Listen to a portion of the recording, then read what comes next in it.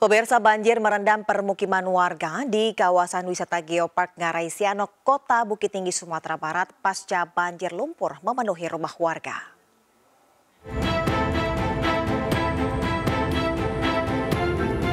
Warga dibantu petugas membersihkan lumpur sisa banjir yang menggenangi halaman dan rumah-rumah warga di Ngarai Sianok, Kecamatan Buguk Panjang, Kota Bukit Tinggi, Sumatera Barat. Ketinggian lumpur di dalam rumah hingga 10 cm. Sebelumnya banjir kiriman yang merendam daerah ini selama dua hari. Banjir terjadi tiba-tiba hingga tidak ada barang dan perabotan rumah yang dapat diselamatkan dari dalam rumah warga.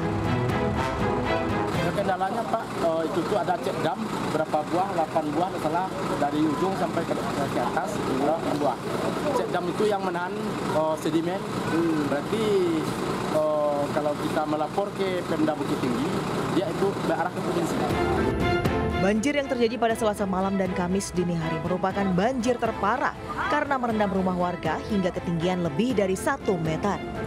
Selain hujan deras di hulu sungai atau daerah sungai Buluah di Kabupaten Agam, pembiaran terhadap pendangkalan akibat sedimen diduga sebagai penyebab air sungai Batang Siano meluap merendam permukiman.